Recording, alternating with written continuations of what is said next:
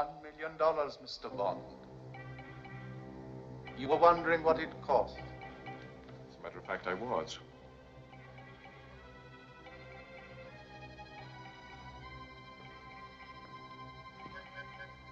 Forgive my not shaking hands. It becomes a bit awkward with these, a misfortune. You were admiring my aquarium.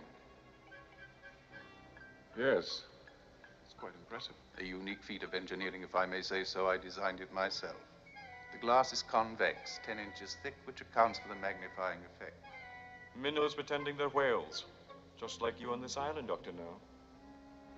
It depends, Mr. Bond, on which side of the glass you are.